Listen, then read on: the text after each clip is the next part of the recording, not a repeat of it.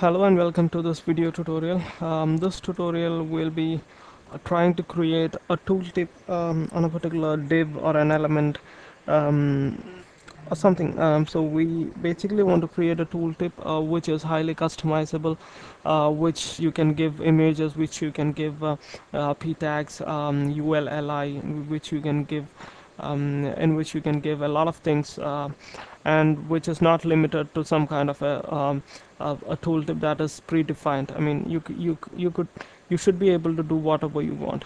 So that is what we are trying to do. Now, um, this is an example for a tooltip that um, I've uh, created. Now uh, I'll just refresh the page, and then now this tooltip that you see over here is actually, if you can see properly, um, it consists of uh, a div um, which has an h1 tag which has a p tag. Now the div is actually created by um, by by giving a css style. Um, and um, this is all custom done. Um, now i saw a lot of um, tooltip uh, which were which are good enough uh, but then the problem is that it becomes really difficult to customize those tooltips. So uh, this one it is quite easy. So we'll get started with this tooltip and then uh, yeah. Um, basically it's just this much bit of code. Um, but then you but then you need to understand certain things. The first thing is uh, obviously you need to include jQuery inside your uh, uh, inside on the page. And then the next thing is uh, the script which is responsible for uh, creating tooltip. Now the next thing is style.css now this style.css is a must because this is the one that uh, gives a relative position to tooltip.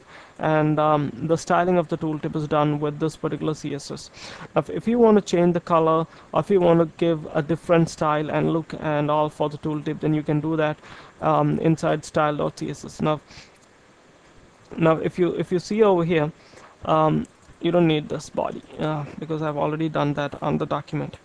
Now um, this ID of TT and um, and class of hotspot these two things are actually um, uh, we don't have to bother it and and and and, and we should not edit it. Uh, the reason is these are dynamically um, obtained by the elements that pops up uh, during um, during when the tooltip is produced. So we should keep this as uh, you know without any edit. Okay.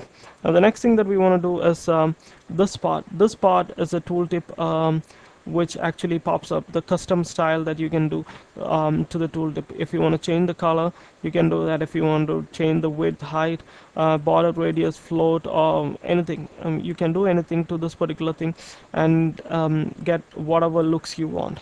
So that's it um, about the CSS the next thing that I want to talk about is uh, is uh, this particular um, tooltip over here. Now we'll just uh, uh, remove the entire thing and start from scratch.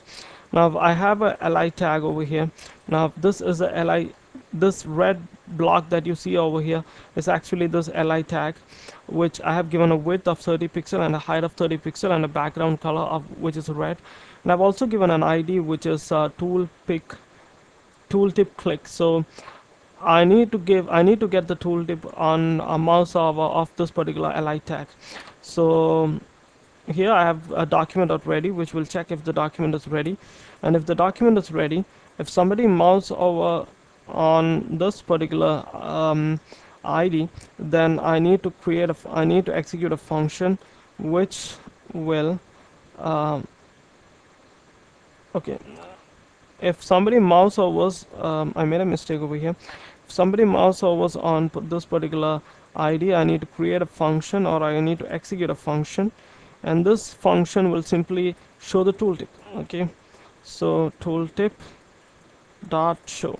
And then whatever you give in this particular bracket will be shown as the tooltip. So suppose if I give in I type in Hari over here and then I go back to this page I refresh the page and I mouse over on it I have this uh, my name popping up. So but then there's one problem. Uh, wherever I move my mouse this thing is always following the uh, pointer so I don't want that.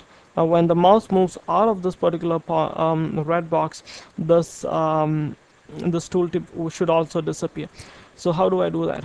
So I need to track the mouse out function um, which is of uh, which is of of mouse out function um, and so that is done simply like this. And instead of showing the tooltip I just have to hide it. So dot hide I think this should work. Now um, I have I've, I've just refreshed the page. Now um, when I mouse over I have my name popping up as tooltip. Now when I mouse out it hides. Okay that's it. Now the next thing that we want to do is we want to create um, this particular tooltip um, which is designed which we have designed. Now this is actually the tooltip that I've designed and then um, I've just copy paste this uh, div which is uh, which is a core um, div uh, which will pop up as uh, tooltip. So if you want to if I if you want me to open this as an HTML document this is how it looks. Um, I've just designed it um, and um, the style as I said earlier is this style over here. And, um, and we want to show that div um, inside this um, tooltip. So what I've done over here is I've opened a PHP tag and then given uh, taken a variable called dollar tooltip and then I've copied this particular div into this tooltip over here. So it's all this one single line. Um, okay. Now I have this particular entire div as one single line over here and then I've assigned it to this variable over here. Now I can simply echo out I can simply open PHP tags over here and then um, echo out tooltip so what happens is oops,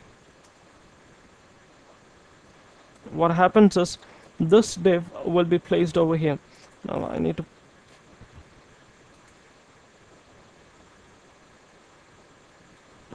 okay.